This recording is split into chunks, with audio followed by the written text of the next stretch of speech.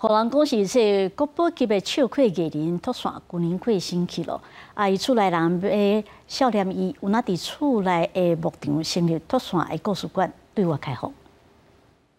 这个扛棒是资深的台湾艺人托线，在三十年前退出演艺界了后，去台东经营牧场的头一个扛棒。因为当初因为正在招牌，所以才有一点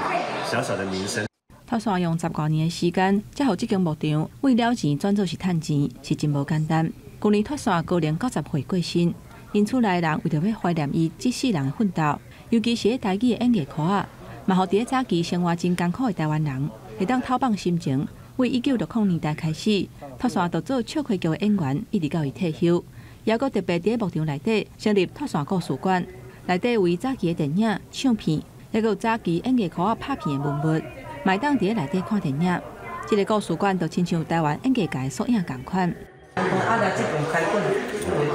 从最早的黑白电影，甚至舞台剧，然后工地秀、餐厅秀，到网络直播，到餐饮会，